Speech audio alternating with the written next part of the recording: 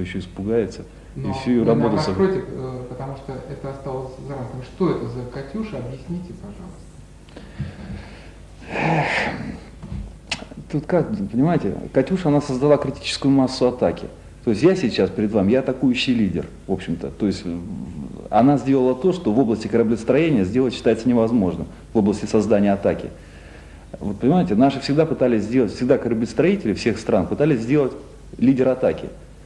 Лидер атаки, понимаете? Она медик, я не понял, почему. Она, она не она еще и на скрипке играет. Понимаете? Так вот, лидера атаки создать считается невозможным. Если его создать, значит он должен быть всю жизнь быть в атаке. И поэтому всегда делали эсминцы. На 38 узлов там приличный эсминец, хороший эсминец, он выполнял свою роль. Так вот, она, выйдя на- один раз на берег э, моря, выходила на берег Катюша и сыграла песню на скрипке. А я как раз сидел рядом. И этот момент произошло создание критической массы атаки, после чего перешел уже переход ну, в области создания ракетно-ударных атак. То есть, понимаете, как идет вперед Россия, как шла вперед Россия всегда.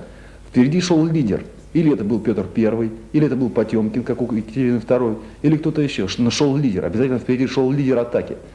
Вот. И вот различная схема атакующих лидеров, то есть создание атакующих лидеров, это была путь России. То есть Россия не- шла вперед не сама, ее ввели лидеры. Или Петр Ну, I. какая роль здесь э, вашей Катюши в- во всей Создание лидера. Мгм. То есть я в данном случае это лидер, лидер атаки. А она? А она императрица, как положено.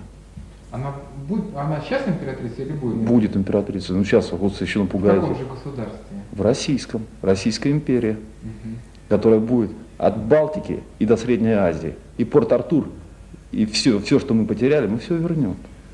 Я за этим прослежу. Моя контора проследит.